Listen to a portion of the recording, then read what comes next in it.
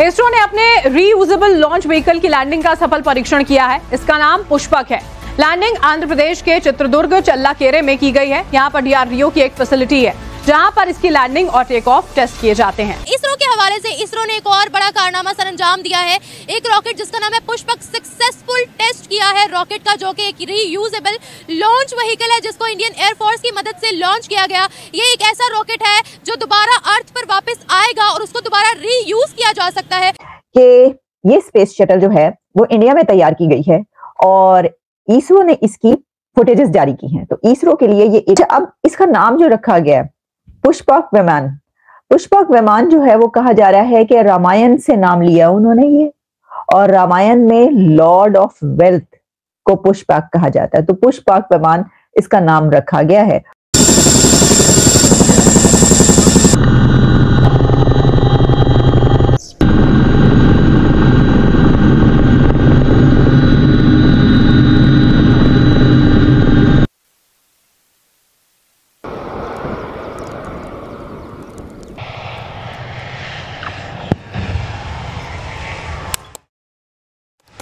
जी दोस्तों, एक unusual and extraordinary development है। पाकिस्तान को ज़रूर नुकसान होगा। बिकॉज़ जब हम चाहते हैं कि हमारी डायरेक्शन सेट हो, जब हम चाहते हैं कि खत्े के अंदर हम वो करें which is good for our people तो हम नहीं कर पा रहे बात नहीं है। तो चाँद पर भी पहुँच गए हैं। सूरज तक भी रसाई हासिल कर ली माफ़ करे ये गलत बातें हैं। ये लोग ये हमें जहलों की ये बातें हैं जो जो करते हैं चाँद पे पहुँच गए या वहाँ पे पहुँच गए। ये जहलों वाली बातें हैं ये। जाहिलों वाली बातें आप नहीं मानते। चाँद पे कैसे पहुँचेंगे पहुँचते हैं? सियारा बेचते हैं अपना। नहीं नहीं ये गलत बात है। गलत बात है। फ़ोन इस्तेमाल करते हैं? फ़ोन करते हैं। आवाज़ कैसे आ जाती है? ये भी गलत बात है। हाय हाय हाय हाय। ये तो कैसे आती है आवाज़? ये तो एक सिस्टम बन गया ना सारे सिस्टम का निज़ाम बन गया। कैसे बना है?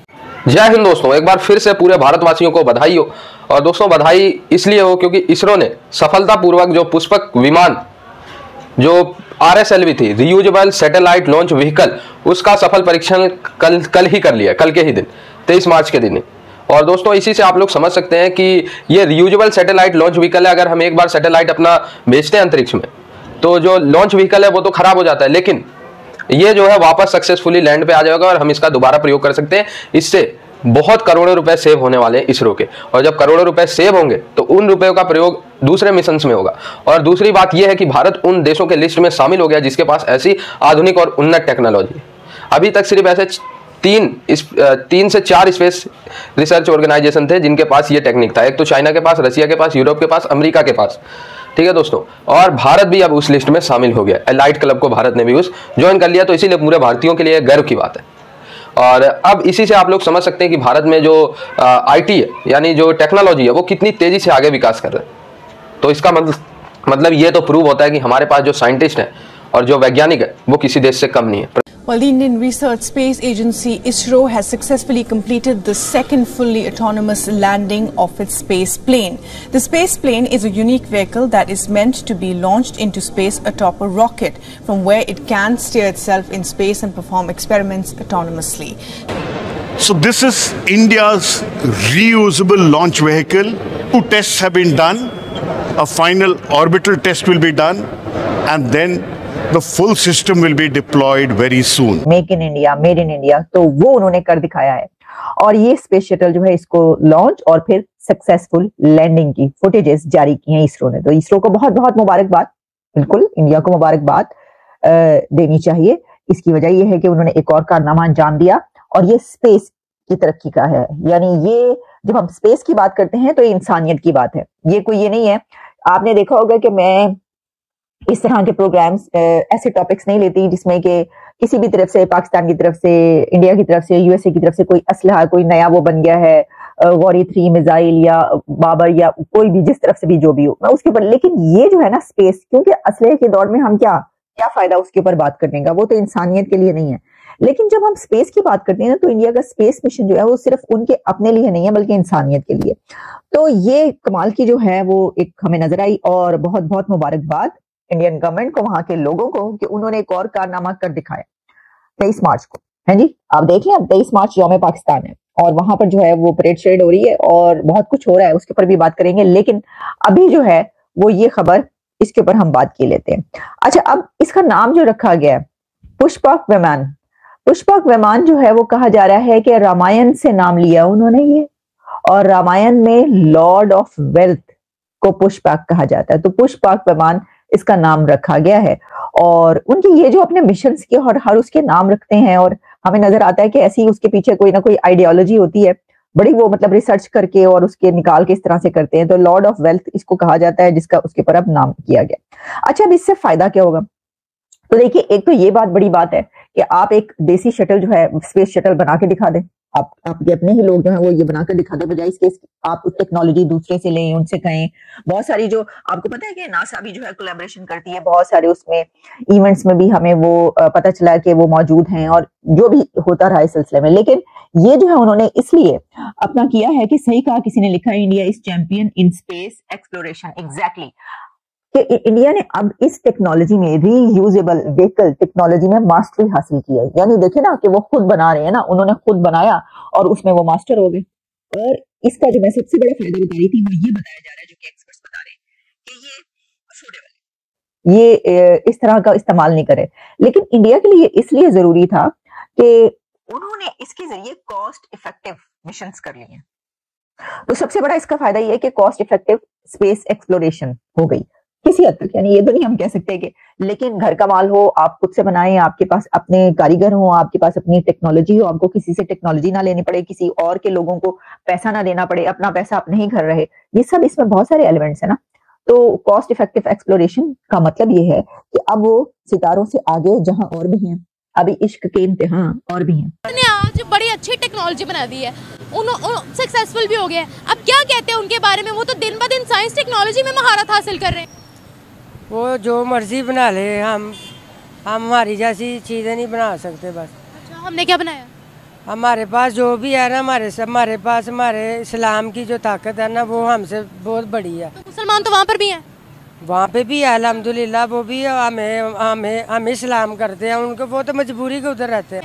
उन्हीं फिर हमारी यही दुआ है हमें भी अल्लाह ताला उनसे बेहतर कोई ना कोई निज़ाम बन जाएगा हमारा भी। क्या है पाकिस्तानी कौम जो है ना हर चीज़ बना सकती है। अगर उन्होंने कुछ ऐसा खास बना ही लिया ना तो कोई इतना मसला नहीं है।